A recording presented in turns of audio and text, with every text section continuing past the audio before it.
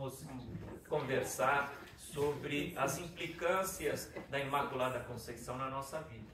Mas antes, rapidamente nessa introdução, só para a gente localizar é, o dogma da Imaculada Conceição, o que, que ele prescreve, o que, que ele diz, para a gente lembrar, para a gente guardar no coração. O primeiro dogma é a base dos outros três. Tá? O primeiro dogma é que esta mulher foi chamada por Deus Pai para ser a mãe do Messias, a mãe do Cristo. Ora, sendo o Cristo um sujeito divino, consequentemente era a mãe de um sujeito divino. Jesus é uma pessoa divina. Maria não concebeu somente uma, vamos dizer, o corpo humano e a alma humana de Jesus. Maria concebeu o corpo, a alma de Jesus. Jesus estava no seu ventre. Certo? Então, Jesus é o nome como nós o conhecemos depois do mistério da encarnação. Antes do mistério da encarnação, qual é o nome divino do Verbo encarnado?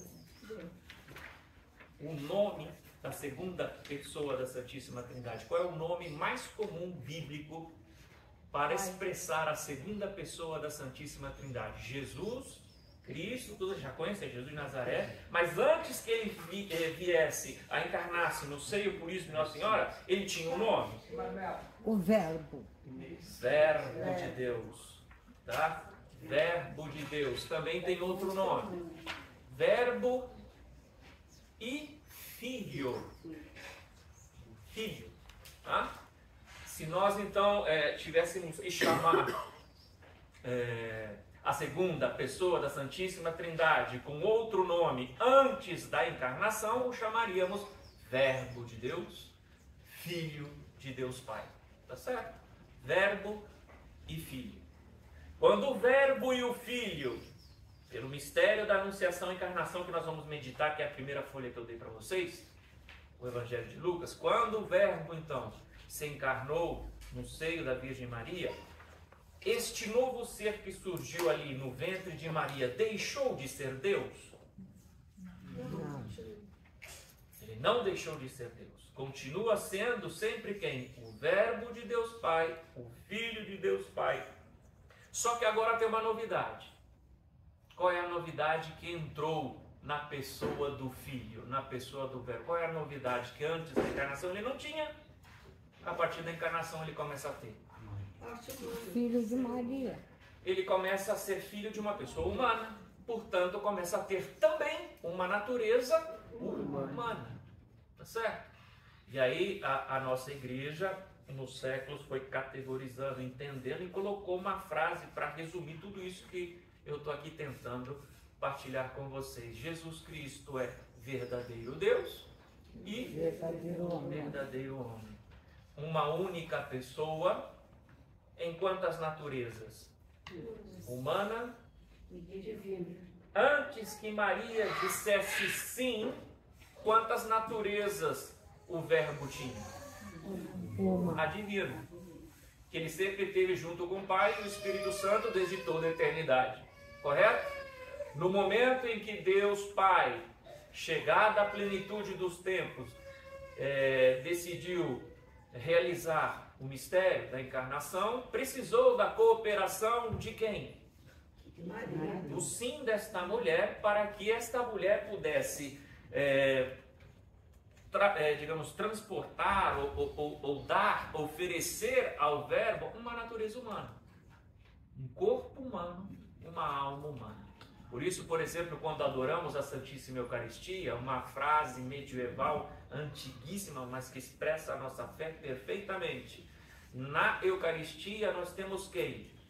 Corpo, alma e divindade.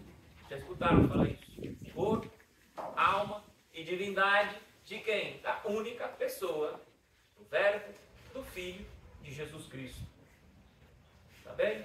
Então, essa vamos dizer, isso que eu estou falando assim, mais ou menos catequético ou pastoral, a igreja precisou de uns 300 anos para fixar de maneira clara e poder transmitir para as gerações. Tá? O primeiro dogma mariano, portanto, Mãe de Deus, foi ali no 411. Ah, em 411 então que começaram a crer que Maria era mãe de Deus? Não, desde os, desde os evangelhos. Desde quando Santa Isabel, ao encontrar-se com Maria, Nossa Senhora que foi visitá-la, Isabel disse para Maria: Quem sou eu para que a mãe do meu Senhor? Então já está aqui o mistério. Mãe do meu Senhor. Tá? Então, é, em 411, a igreja coloca essa frase teologicamente para ficar, digamos, claro e diante de algumas heresias que diziam naquela época que Nossa Senhora era a mãe só do corpo e da alma, não de Jesus. Vocês estão vendo a, a, a complicação? Que Maria simplesmente ela foi só um receptáculo, vamos dizer assim, é, para que a pessoa divina pudesse se encarnar mas entre a pessoa de Jesus e Maria não tem realmente uma união, inclusive biológica. Tá? Era uma heresia na época. Então, para ficar claro que quem nasceu no ventre de Nossa Senhora é a pessoa do Verbo, é a pessoa do Filho, os santos padres da época eles proclamaram solenemente o dogma de Maria é mãe de Deus, entenda-se entre parênteses, Deus Filho. Tá certo? Maria não é mãe da divindade, da Santíssima Trindade. Maria não gerou a Santíssima Trindade. Maria não gerou a natureza divina. Maria gerou a pessoa divina do Filho enquanto homem. Como a pessoa que ela gerou aqui na terra é uma pessoa divina, se pode falar sem nenhum problema que ela é mãe de Deus. Que ela é mãe de uma pessoa divina. Certo? Então Maria é mãe de Deus, entre parênteses, Deus Filho. Corretíssimo. Tá? Lamentavelmente, alguns protestantes evangélicos que não entendem a teologia mariana é, atribuem Maria, mãe de Deus, como uma heresia da nossa parte, porque estão vinculando mãe de Deus igual a que Maria fosse a mãe da Santíssima Trindade, ou mãe da divindade em si. Não é esse o dogma. Simplesmente estamos proclamando que é o sujeito que nasceu no seu ventre, é o mesmo verbo, é o mesmo filho, que tem a mesma natureza divina do Pai e do Espírito. Portanto, é mãe de Deus, completamente. Entenda assim, entre parênteses, filho. Deus filho. Tá certo? A partir daí, surgiram os outros três dogmas, porque todos os outros três dogmas marianos são consequências é, deste primeiro fundamental dogma. Se eu já entendi então que a participação de Maria não foi só acidental, não foi só, digamos, é uma espécie de é, sim, de acidente ou de ocasião, mas foi realmente mãe daquela pessoa divina, daí se desprende algumas consequências. Segundo o dogma mariano histórico, a virgindade de Maria. Fica claro no texto, e nós vamos revê-lo aqui no texto, que Maria concebeu Jesus de maneira virginal, sem contato com, é, no caso, José. Né? Inclusive o anjo a chamou antes que coabitassem, antes que estivessem juntos. Então era claro para a igreja que Nossa Senhora concebeu o Filho de Deus de maneira virgem. O que não era claro de maneira explícita é se depois ela permaneceu virgem. Certo? A, é, a sagrada tradição da igreja, não só a Bíblia, mas a sagrada tradição da igreja, a reflexão dos padres, a vida dos santos e das santas, nos mostram que Nossa Senhora, depois de assumir a sua missão como mãe do Redentor, aceitou a sua consagração total para servir totalmente a missão redentora do Filho. Para isso ela permaneceu sempre virgem. Certo? Então a virgindade está vinculada à sua missão como mãe de uma pessoa muito especial, que é o Filho de Deus. Para servir a missão do Filho de Deus, Deus a chamou para ser a arca da nova aliança, arca inviolável, arca puríssima, arca, digamos, adornada com todas as graças e joias. Então ela permaneceu sempre virgem. E José? José a protegeu e José viveu a castidade com ela. É o que nós cremos. É o que está implicado na Sagrada Tradição, na Sagrada Bíblia e no magistério da Igreja. O terceiro dogma é a Assunção. É, é o, perdão, o terceiro dogma é a Imaculada Conceição, que eu vou falar com vocês, então vou deixar para depois. Tá? Mas, basicamente, uh, por que o dogma da Imaculada? Por uma questão muito simples. Todos nós viemos ao mundo no pecado. Tá? Ninguém de nós nasce sem aquela lamentável culpa original dos nossos primeiros padres, que na teologia se chama pecado original. Tá? Nenhum de nós aqui tem culpa disso. Quem tem a culpa foram os dois lá atrás que transmitiram depois às gerações futuras uma condição de pecado, ou seja, de estar longe de Deus, de perder as forças divinas iniciais, etc. O que que fez o santo batismo? Nos libertou dessa culpa, nos libertou desse castigo, nos abriu o céu de novo, nos deu a adoção filial de novo, estamos mais perto de Deus, só que não tirou uma coisinha, a nossa inclinação ao mal.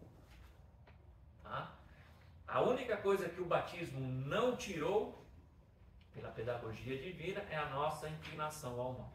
Por isso, todos nós, apesar de sermos batizados e santificados e, e termos recebido o Espírito Santo e, e que somos de fato filhos e filhas de Deus, pecamos, porque somos inclinados ao mal.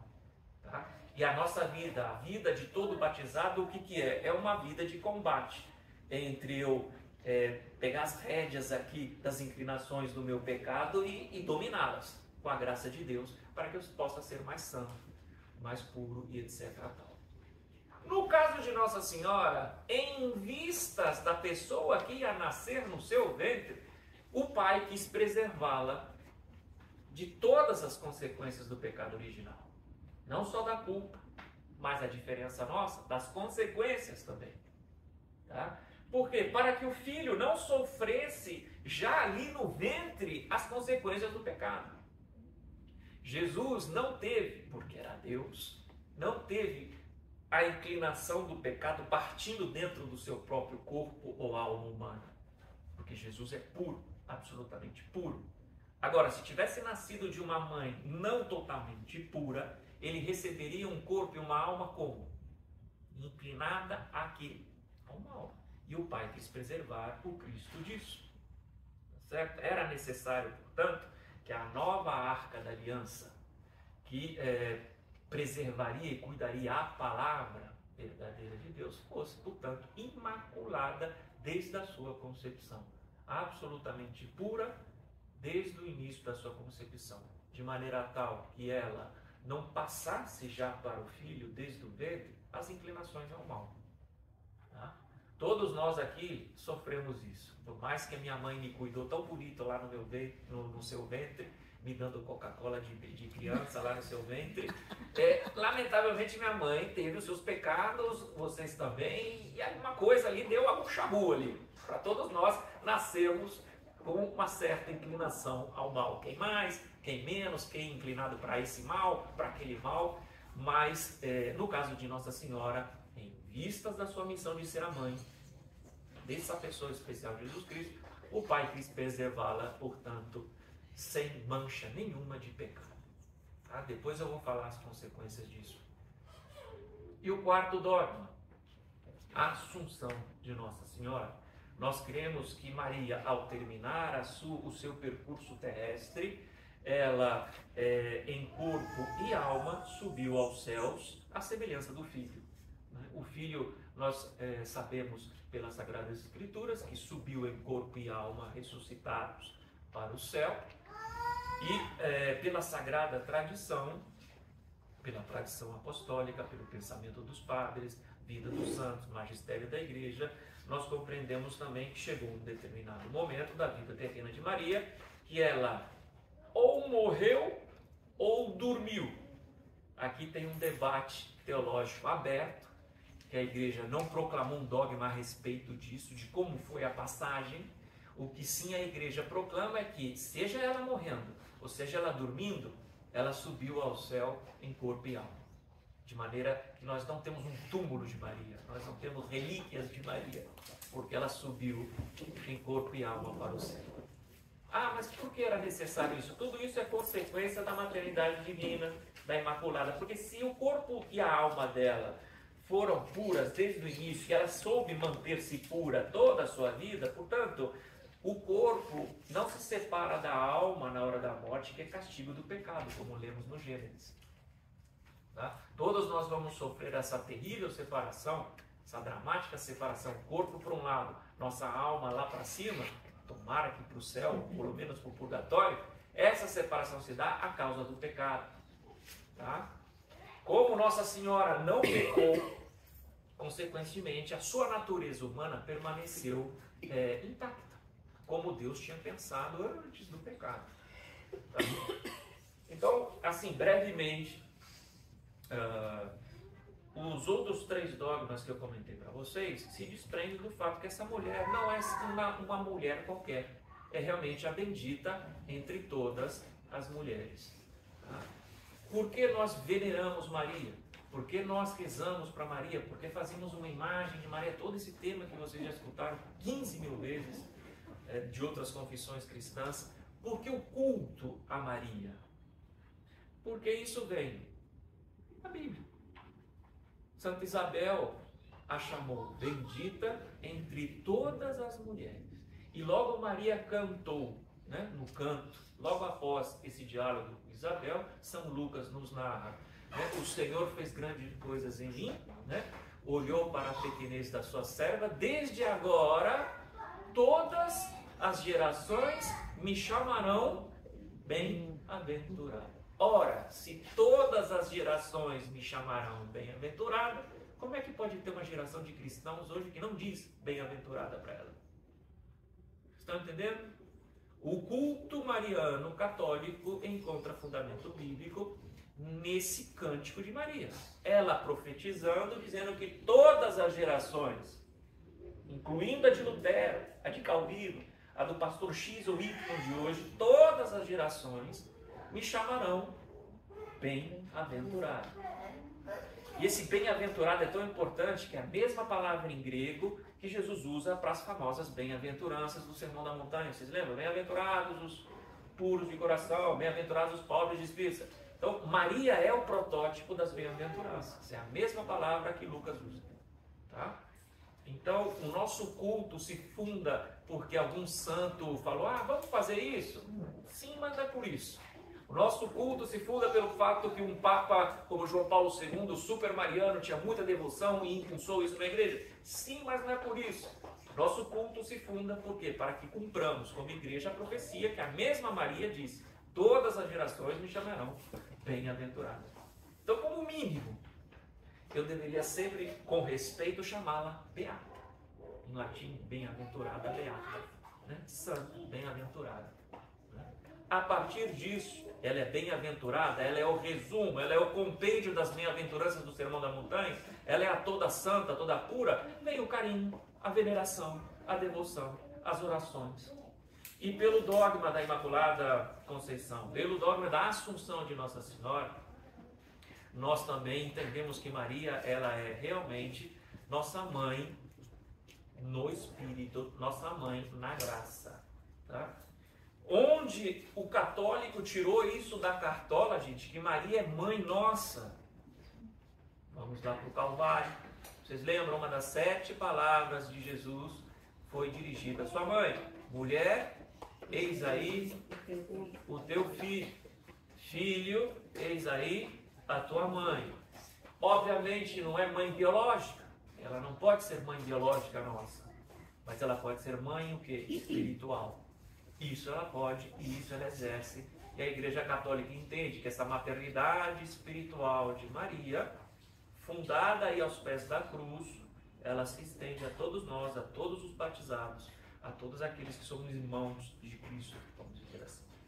Tá? Estou fazendo um resumo assim da Mariologia base. Tá certo? Alguma pergunta? Alguma.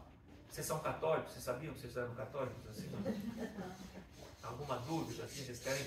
Eu respeito, se quiser ser protestante, não tem problema. Não, tem nenhum problema. Só que quando encontrar Maria lá no céu vai tomar um susto, né?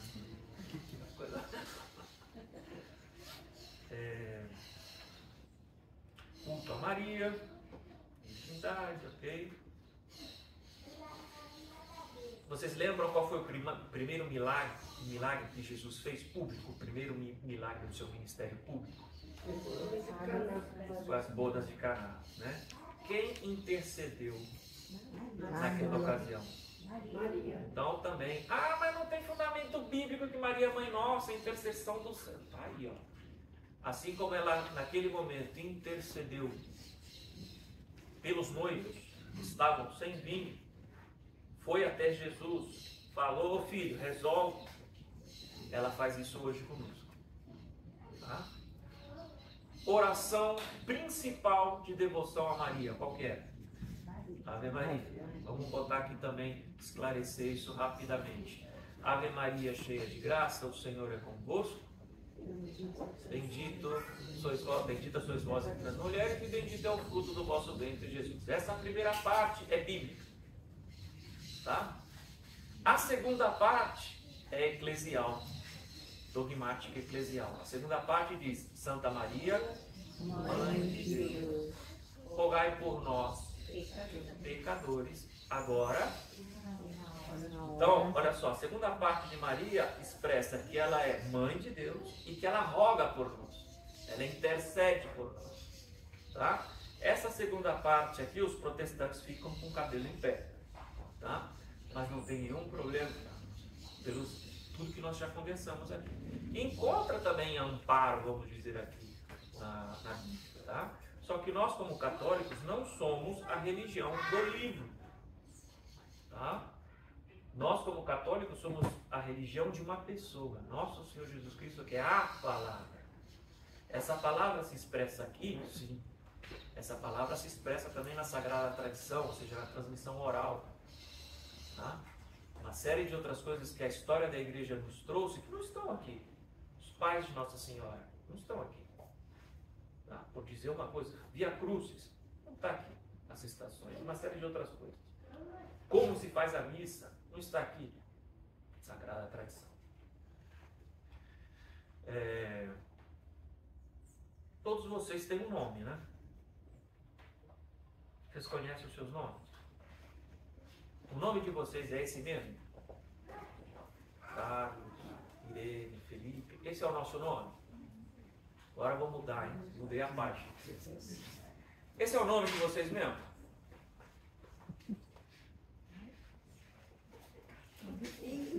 Marcelo é mesmo? É Marcelo?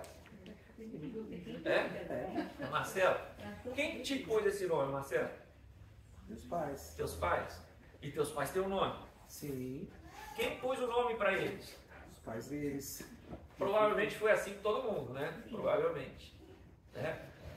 Vamos lá então na folha, vamos meditar sobre Lucas capítulo 1, que é ah, talvez o texto mais mariano, mais teológico, né?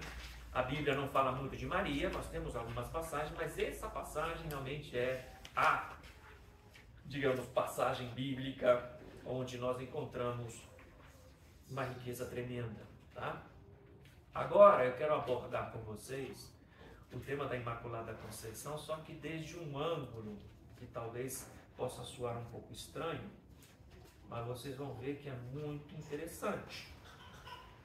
Olha só, nós estamos em Lucas, né, versículos 26 ao 38. É isso aí? Eu errei na folha, 26 e 38. Pode ser que a minha tradução aqui difere um pouquinho da de vocês, mas no essencial não, tá? Então, olha. Quando Isabel estava no sexto mês, o anjo Gabriel foi enviado por Deus a uma cidade da Galileia chamada Nazaré, a uma virgem prometida em casamento ou desposadas, a um homem de nome José, ou chamado José da casa de Davi. E aí, Lucas termina o versículo 27 com essa informação. O nome da virgem era Maria. Era, porque não é mais. Agora vocês vão ver a novidade. O verbo está bem escrito aqui. Era. Tá? Antes da gente desvendar o mistério aqui, para a gente ficar aqui é, maravilhados com a palavra do Senhor escrito, o que, que é o nome para a Bíblia? Antes, o que, que é o nome para nós cidadãos?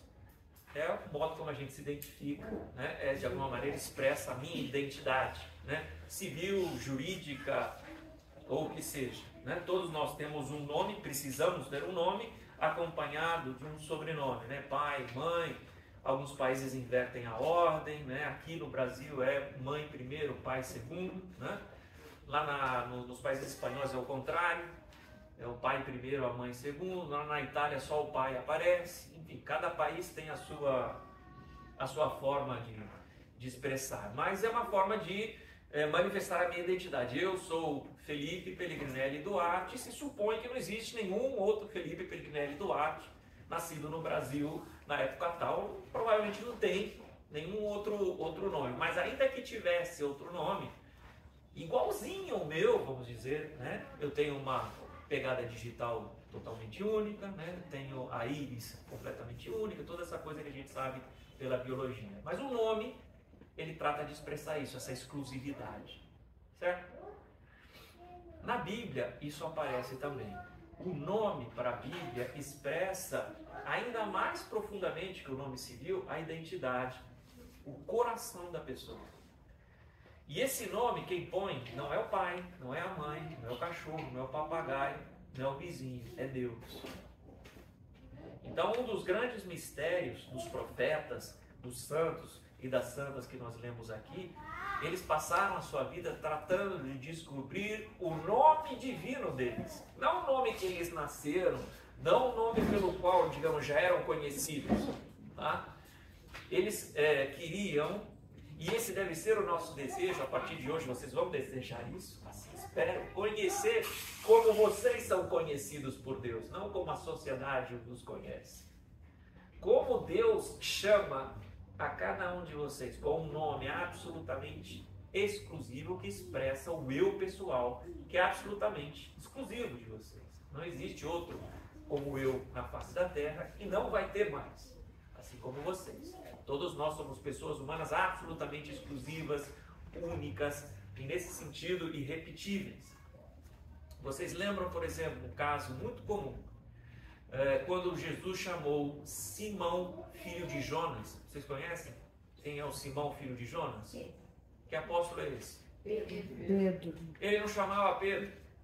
O nome dele, oficial, civil, jurídico, judio, era Simão, filho de Jonas. Como até hoje em muitos países no Oriente é assim, fulano de tal, filho de tal. Continua sendo assim, o sobrenome é diferente. Porque tem toda uma genealogia.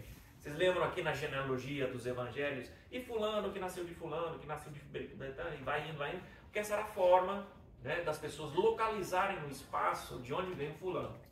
Tá? Lá não tinha papéis, não tinha computador, não tinha impressão digital, era assim. Então, é, o que, que aconteceu com o nosso Simão filho de Jonas, quando Jesus o viu pronto, Jesus, tu és Pedro, e sobre essa pedra edificarei a minha igreja. Você já não é mais Simão Bar Jonas, filho de Jonas.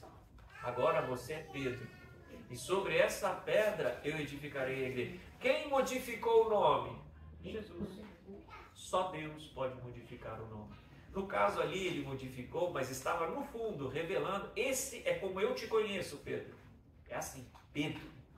Com as características que você tem, com as limitações que você tem, mas com a vocação que você tem. Eu te chamei. E é interessante que quando, quando que Jesus falou isso para Pedro? Vocês lembram qual foi a situação que Jesus falou isso para Pedro? Aconteceu algo muito importante. Jesus perguntou algo para a turma sua lá. Aí Pedro, como era Pedro, sempre saía na frente mandava ver. O que, que Jesus perguntou? Quem vocês acham que eu sou? Quem vocês acham que eu sou? O que está rolando aí na rua? Aí a galera fala, ah, você é o Elias, você é o profeta, você é o cara do bem, você é um gente fina, sei lá o quê. Mas vocês que me seguem, vocês, meus discípulos, quem vocês dizem que eu sou? E aí Pedro, né, tu és o Cristo. Então, não é Jesus. Jesus é o nome, mas o que expressa a identidade e a missão mais profunda de Jesus de Nazaré é que ele é o Cristo. Ele é o Messias. Tá certo? Nesse momento, portanto, em que Pedro, iluminado pelo Pai, fala essa verdade cristológica, Cristo devolve para Pedro. Pedro, agora Simão, você não é mais Simão, agora você é Pedro. Sobre essa pedra edificarei a minha igreja. Por quê? Porque você é, recebeu um dom do Pai de me conhecer. E todos os sucessores de Pedro, a partir daquele momento, têm esse dom de poder confirmar os irmãos na fé, caso for necessário. Isso é o que nós cremos com o dom da infalibilidade papal. Não é que o Papa não erra. É que o Papa, se a coisa estiver preta, alguém da igreja tem que levantar um dedo e confessar a fé. Quem vai fazer isso? O sucessor de Pedro. Certo? Outros casos de mudança de nome na Bíblia. Abraão foi chamado por Deus para deixar sua terra e ir para Canaã. Quando ele conhece a Deus, deixa de ser Abra, Abraão para ser Abraão com dois A. Deus muda o nome. Agora você vai ser pai de uma multidão de nações. Mudou a missão. Muda a identidade, porque muda a missão. Muda a missão porque mudou a identidade. Tá? Pedro pescava peixes, agora é pescador de homens. Muda o nome. Muda a identidade, muda o nome. Tá? Quando o Senhor Deus criou o céu e a terra, no sexto dia ele criou quem? Os últimos a serem criados. O homem e a mulher né? Adão e Eva. Quando Deus os criou, disse: multiplicai-vos, crescei-vos, né? sede fecundos, é, cultivai a terra, nominai a todas as criaturas da terra. Coloquem nome, por quê? E aqui vem outro elemento importante da teologia do nome na Bíblia, porque o nome expressa possessão. Quando eu te nomeio, eu tenho autoridade sobre você. Por isso os nossos pais normalmente põem o nosso nome porque são as nossas primeiras autoridades. Tá? Mas no mundo bíblico, quando você põe o nome, você está colocando o nome porque Deus assim está permitindo, é algo muito sério. Portanto, uma parte importante da vocação nossa como seres humanos, ao pôr nome aos animais, estamos dizendo aqui que nós dominamos sobre todas as criaturas, porque é um domínio dado por Deus, a imagem e semelhança de Deus. Entendeu? Botar nome é possuir. Botar nome é dizer você é meu. Tá? Por isso, quando Jesus diz Simão Jonás, legal, agora Pedro, você é meu segue-me. Você é meu. Quando Abraão muda de nome, Abraão, você é meu. Você me pertence. Certo? E assim sucessivamente. Lá no Apocalipse, o último livro da Bíblia, tem um texto muito bonito. Deixa eu pegar aqui para vocês, eu não consegui colocar aqui na folha para vocês. Onde São João, o vidente, é no capítulo 2. Deixa eu só confirmar aqui para vocês anotarem, para vocês verem por curiosidade depois.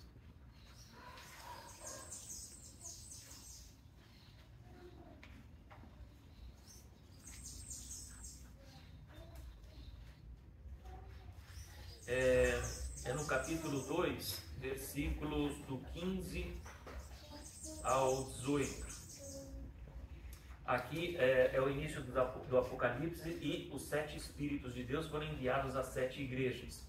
E aqui, uh, um desses, uma dessas igrejas se chamava a igreja de Pérgamo, lá na, no que é hoje a Turquia. Então aqui está dizendo, ao, ao anjo da igreja que está em Pérgamo, escreve assim, Assim fala o que tem a espada afiada de dois gumes. Conheço o lugar onde moras, onde está o trono de Satanás. Mas tu mantens o meu nome e não renegaste a fé. Não renegaste a fidelidade para comigo. Mantiveste o meu nome. Vamos chegar aqui que significa isso. Não é é algo muito profundo aqui, tá? Ou seja, qual é o nome de Deus, gente? A gente até agora falou só nome nosso, nome de pessoas que Deus botou o dedo. O nome de Deus qual é? É Deus. Deus único. O Senhor Deus Criador do céu e da terra. Qual é o nome de Deus? Yahvé. Eu sou. Quase. Vamos chegar aí. Então aqui, olha, o Espírito está dizendo à igreja lá, a comunidade interna, vocês se mantiveram fiel porque mantiveram, protegeram o meu nome. foram fiéis ao meu nome. Tá? Ah, tenho, porém, algumas coisas contra ti. Tá?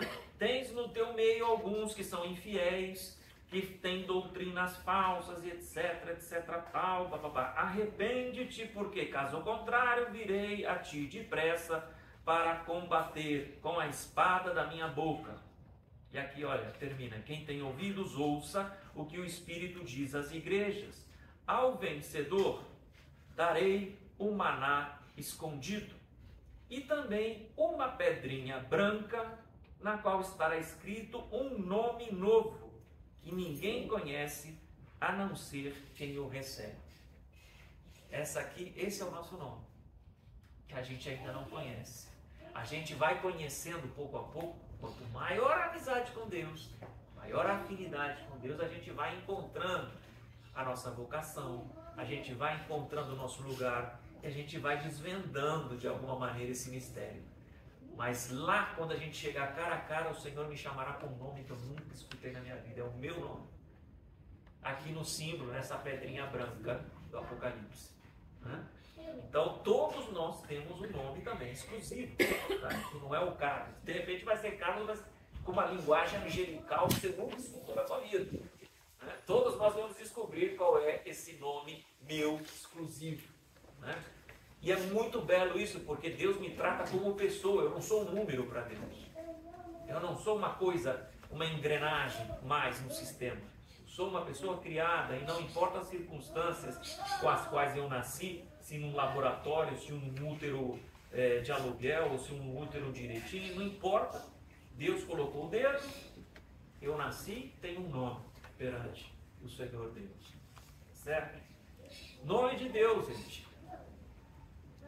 Israel até hoje não nomeia Deus. Tá? Yahvé, Adonai, Shalai, Elohim, todos esses nomes que nós escutamos em, em hebraico, em, em, na língua hebraica, são, vamos dizer, apelidos que expressam alguma das dos atributos divinos, todo-poderoso, misericordioso, grandioso, criador do céu e da terra, amoroso, o nome próprio de Deus, porque Deus revelou, mas velou ao mesmo tempo. E aqui vocês vão conhecer outro detalhe interessante da palavra revelação. Que coisa é revelar? É velar de novo. Revelação. Então a revelação divina é um manifestar algo mas ao mesmo tempo um esconder outro. É uma revelar-se, como se diziam na, na Idade Média. É um velar de novo. Vocês entenderam o jogo da palavra? Funciona também em português, porque o latim é muito parecido. Revelar-se. Então, quando Deus revela o seu nome, mas ao mesmo tempo vela o seu nome. Quando Moisés perguntou, quando eu for lá cumprir essa missão facinha que você me deu, né? De ir lá libertar é, o meu povo lá do faraó e do exército desse, é uma missão tranquila. Quando chegar lá, eles me perguntarem qual é a tua divindade, eu, qual é o teu nome? Eu vou falar o quê? E aí o Senhor Deus se revelou, eu sou aquele que sou. Tá? Que na verdade no hebraico original é, até, é muito difícil, inclusive essa frase de traduzir, porque pode ser traduzida como eu sou aquele que sou, eu era aquele que era, eu serei aquele que serei, é muito difícil. Na tradução do latim do grego, ficou mais ou menos eu sou aquele que sou. Os hebreus, para preservar o mistério do nome de Deus, fizeram então o tetragrama sagrado, quatro letrinhas para expressar esse nome divino. É, y, W, H, Y, que não dá para ler, porque falta vogal. Por isso, no texto hebraico, não está Yahvé. Yahvé é mais tarde, muito mais tarde, quando colocamos vogal só para a gente conseguir ler, identificar que, mas não é o nome divino é revelado. Nome divino revelado é impronunciável, porque Israel quis manter o que? A manifestação e a velação ao mesmo tempo. Deus eu não posso possuir. Vocês lembram que eu falei que ao nominar eu possuo? Eu não posso nominar Deus, porque eu não posso possuir Deus. É Ele que me possui, não eu que vou possuir Ele. Então eu não posso chamá-lo pelo nome.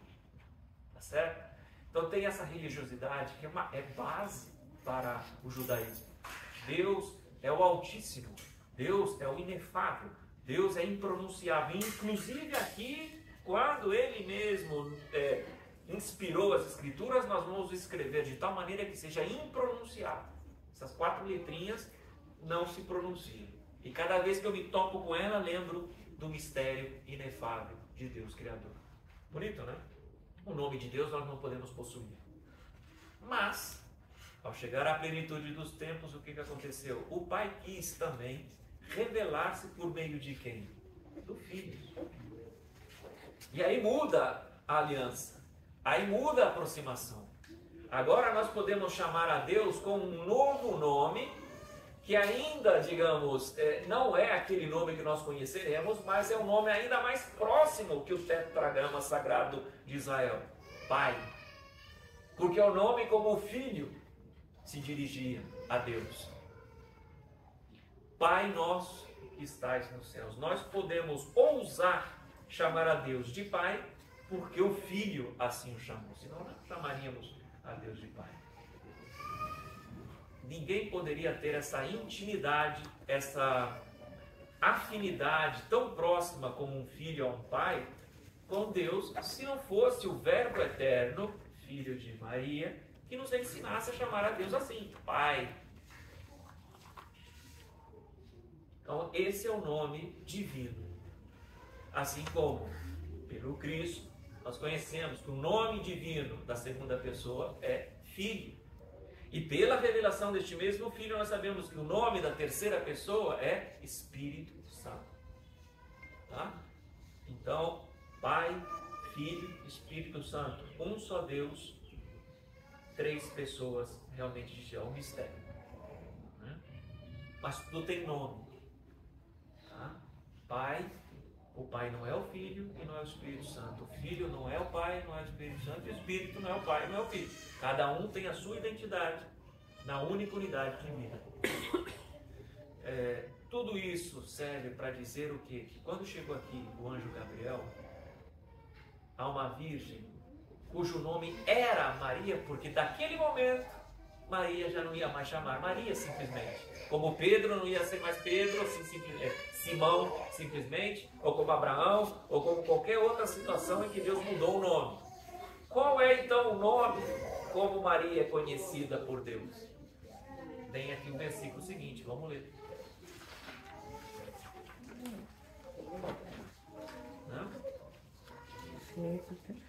Então, olha só: o anjo entrou onde ela estava e disse: Ave, cheia de graça.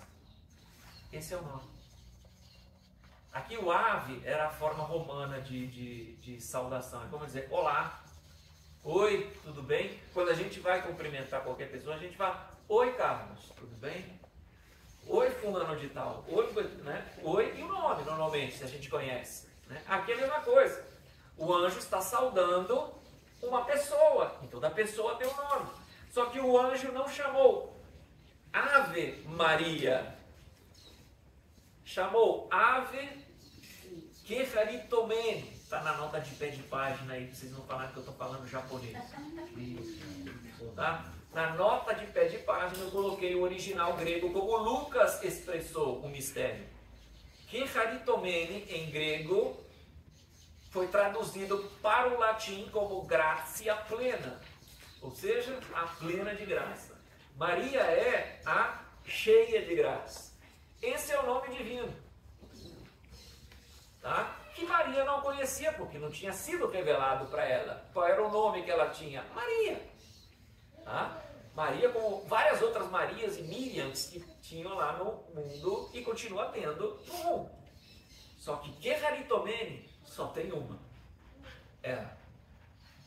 Só tem ela. A, a cheia de graça é só ela. Esse é o nome com o qual ela é conhecida por Deus.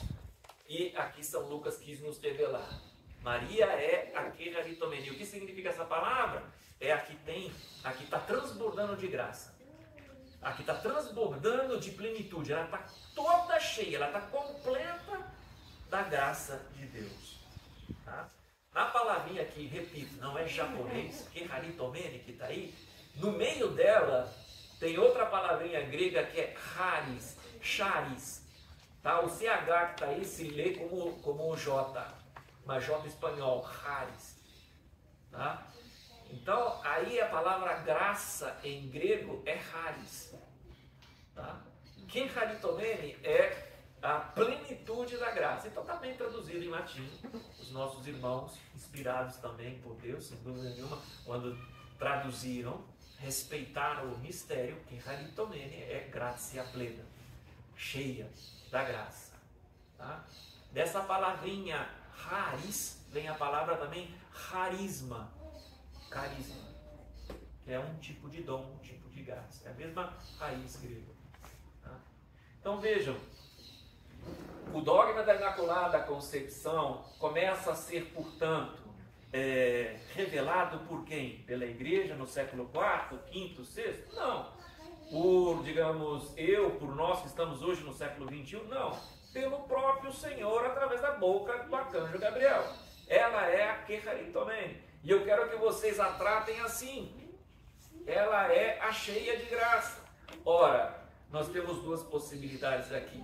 Ou ela, neste momento, 13, 14, 15 anos, foi assim chamada pelo anjo em nome de Deus, você é a cheia de graça, ou ela é cheia de graça até ali e depois esvaziou, ou ela continuou sendo assim até o final. Não tem uma terceira possibilidade.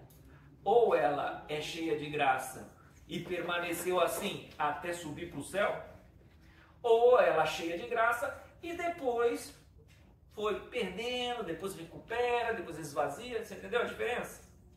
A igreja crê que essa plenitude da graça se manteve até a Assunção e continua assim. Então, o dogma da Imaculada Concepção prescreve que ela nasceu totalmente pura, sem nenhuma culpa do pecado original e sem nenhuma consequência do pecado original. Ok? E que essa plenitude de graça, portanto, se manteve ao longo da sua vida até o fim. Ela nunca deixou, ela nunca perdeu essa plenitude de graça. Portanto, ela é toda santa, ela nunca pecou.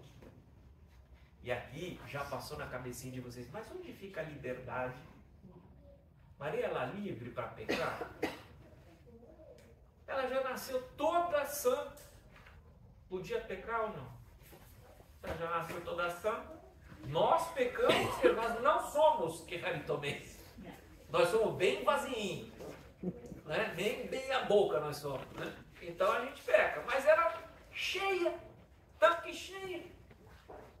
Ela podia pecar? Com certeza. Com certeza. Ela podia, só que ela era livre, escolheu não. Uhum. Se Deus tivesse é, criado Nossa Senhora de maneira não livre, não seria amor. Não seria amor.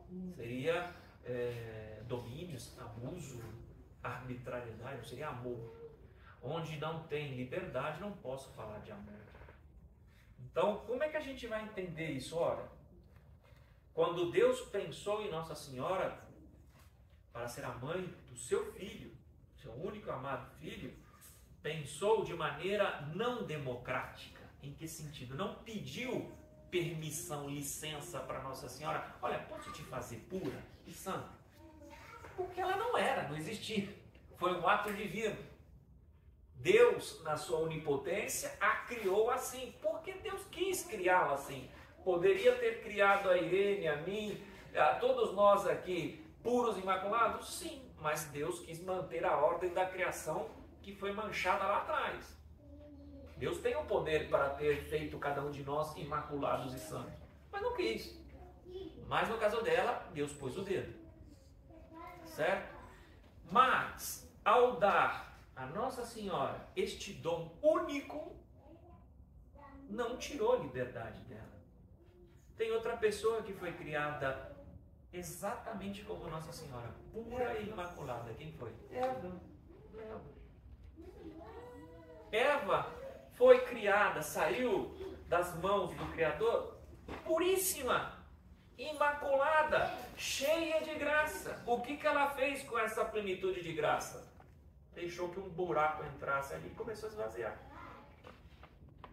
Eva também dialogou com um anjo, só que não foi Gabriel, foi Lúcifer. E esse diálogo de Eva com um anjo, que não foi enviado por Deus, a diferença de Lucas, aquele anjo seduziu Eva, fez com que Eva desconfiasse dos planos de Deus, desconfiasse de tudo, e ela, sendo a mãe dos viventes, contaminou tudo. Por quê? Porque ela perdeu a graça. Mas, repito, ela veio ao mundo imaculada e santa. Então, o fato de que Maria tenha vindo ao mundo imaculada e santa não tira o dever dela de se manter assim, de exercer a sua liberdade para ser fiel ao que ela recebeu, a manter-se pura e santa. É, a gente mais ou menos entende que é difícil você ser campeão brasileiro no futebol. Agora, é mais difícil você manter ser campeão brasileiro toda hora. Precisa de mais virtude ainda, mais força ainda, para se manter sempre no top. Então, não pense que pelo fato de que Maria tenha sido, é, desde a sua concepção, preservada de todas as consequências que a vida dela foi fácil. Não foi, porque Eva, olha o que, que Eva fez. O mesmo dom de pureza inicial, o mesmo dom de santidade inicial, ela não preservou. Maria sim. Certo? Então, quando nós a chamamos imaculada e santa, não estamos só chamando um título teológico, é, uma concepção, uma concepção teórica, é o nome dela que expressa a identidade e a missão de Nossa Senhora de ser a toda pura, a nova arca da aliança, a nova Eva. Em 1858, quatro aninhos depois que o Papa Pio IX proclamasse solenemente o dogma da Imaculada Conceição, uma coisa extraordinária aconteceu na França. A aparição de Nossa Senhora de Lourdes. A quem? Vocês lembram? A Santinha? A vidente? Santa Bernadette. Santa Bernadette, uma linda menininha, mas burrinha, coitada, não sabia nada, analfabeta, não sabe escrever, não sabia nem falar o, o francês direito, ela falava o dialeto do seu povinho lá, de Massabé, não sei o quê.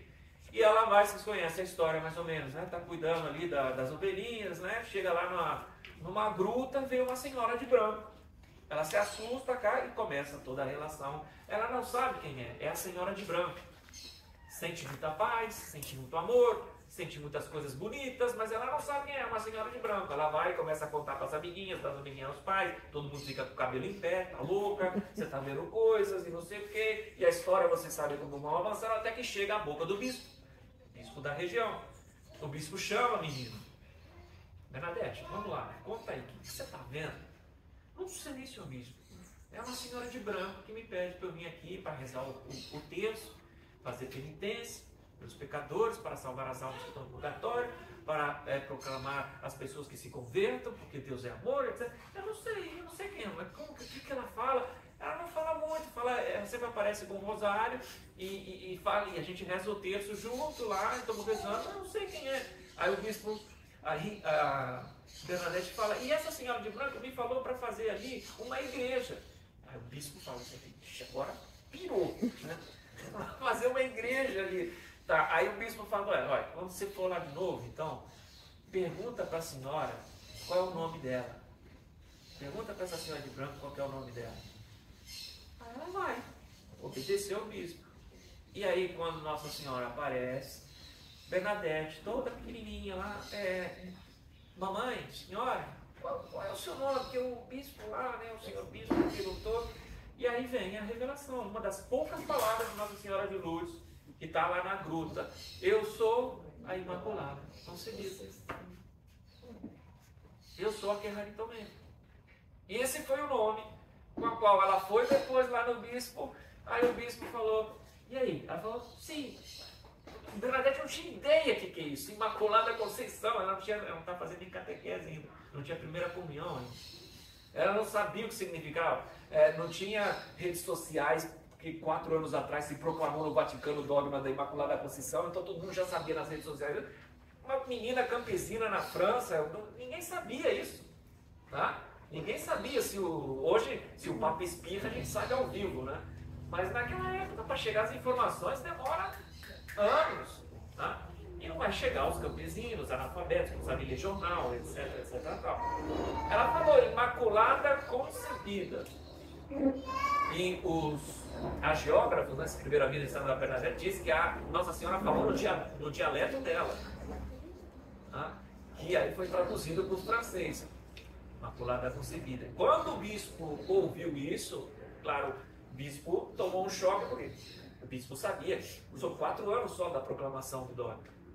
Então essa senhora de branco é a Imaculada Conceição Maria. Tá?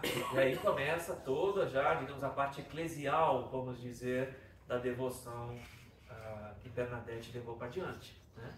Mas até ali era a coitada da Bernadette, né, sendo fiel à senhora de branco, né, rezando o texto. Aí Maria revelou: Eu sou a Imaculada Conceição, aqui em tomei.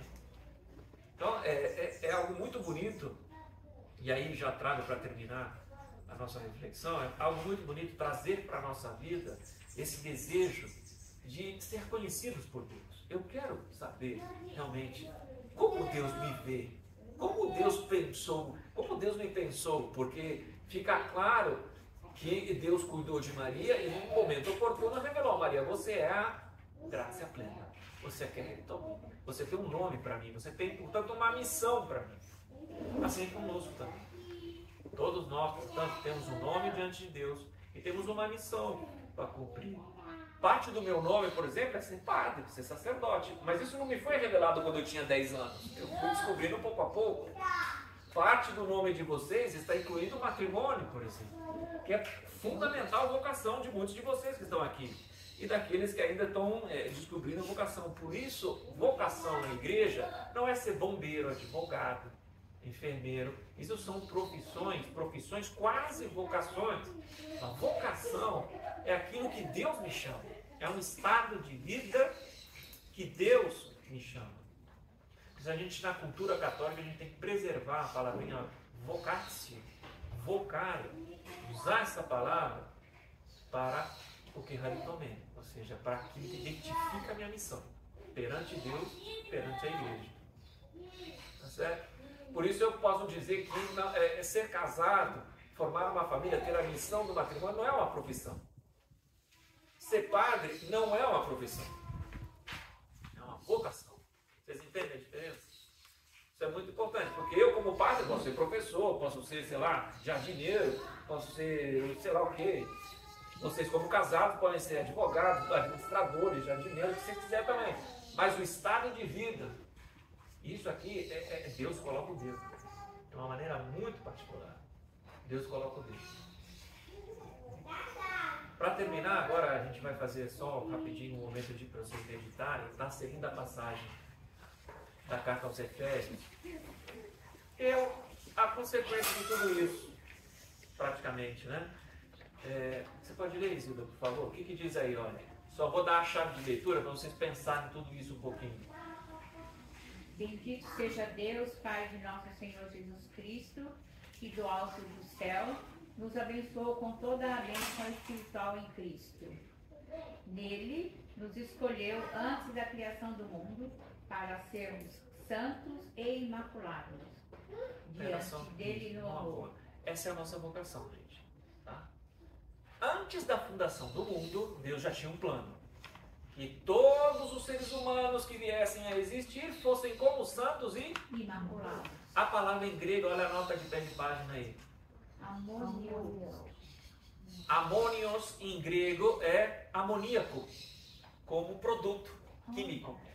Daí vem a palavra amoníaco. Que coisa é o amoníaco? É o sem mancha. É o puro, é o que purifica, o que limpa. Tá? Então todos somos chamados para sermos amoníacos, não produto químico, mas no sentido de é, sem mancha, imaculados. Em latim, a tradução é imaculati, por isso nós chamamos imaculado. Tá? É a tradução é, desse verbo, desse, desse substantivo, desse adjetivo grego amônios, que é água amoníaca, né? um produto químico. Tá? Então essa é a nossa vocação, sermos santos e imaculados na presença de Deus e como? Amor. Amor. Por isso o coração de Maria brilha de uma maneira particular e ela aponta esse coração porque a essência do cristianismo é e será sempre a caridade. Ninguém se santifica se não vive o amor. Posso ser super inteligente, super bonitão, ter sucesso, ter vários títulos acadêmicos, posso ser um bom pai, uma boa mãe, mas se eu não tenho caridade, diz Paulo, nada me serve. Posso ter toda a ciência do mundo, mas não tenho a caridade, nada me serve. Posso falar todas as línguas, não tenho a caridade, diz Paulo, nada me serve. Então, por isso Maria aponta, olha, não percam de vista o essencial. Não fique olhando as outras coisas que estão tá aí ao redor, chamando atenção. Essencial. Como é que está o teu coração? É puro e imaculado como o meu? É esse, esse é, o, é, o, é o foco que você tem na tua vida, de ter um coração como o meu, rodeado por essas rosas puras, que simbolizam o dom da Imaculada Conceição, mas cheio do fogo do amor, da caridade. Ainda com a dor da espada, dos pecados alheios, da cruz do meu filho, ainda com a dor, eu permaneço amando cheio do fogo do Espírito Santo. Eu permaneço amando, amando, amando. Tá? Então, e a consequência disso, continua por favor, Zilda, o versículo que segue. Ele, o Pai, nos predestinou para sermos seus filhos adotivos por Jesus Cristo, segundo o beneplácito de Sua vontade, para louvor e glória de Sua graça, com a qual Ele nos agraciou no amado Nele, em Cristo, pelo seu sangue, temos a redenção, a remissão dos pecados, segundo as riquezas da sua graça, que derramou profusamente sobre nós em torrentes de sabedoria e de prudência. Tudo isso seria lindo de morrer, mas se Jesus Cristo não viesse aqui para reparar a sujeira, a gente morreria, morreria de vontade de um dia ter sido, né? O que a gente nunca poderia ser. Aqui a gente sabe que, a, que o plano de Deus é que eu seja puro, mas eu sei que eu não sou puro. Então aqui entrou o pecado. Tá? O pecado estragou esse sonho de Deus. Mas teve uma pessoa no mundo que esse sonho não foi estragado, ela. Todos deveriam ter nascido assim e permanecido assim, santos e imaculados, de época. Só que não conseguimos. Ela sim. Por isso é nossa mãe também, porque é exemplo é modelo, porque é, é, a altura máxima que eu tenho que chegar. Nós temos que ser como ela, que ela possa, que a gente possa dizer como ela, né? eis-me aqui, eu sou a serva do Senhor, faça-se em mim, então, isso é ser servo, fazer a vontade de Deus. Certo? Vamos rezar uma Maria para agradecer? Vamos ficar sentados também, porque depois vou fazer umas perguntas para vocês para vocês entenderem lá hoje. Ave Maria, cheia de graça, o Senhor é convosco. Bendita sois vós entre as mulheres, e bendito é o fruto do vosso ventre, Jesus. Santa Maria, Mãe de Deus, rogai por nós, pecadores, agora e na hora de nossa morte. Amém. Amém. Vocês têm alguma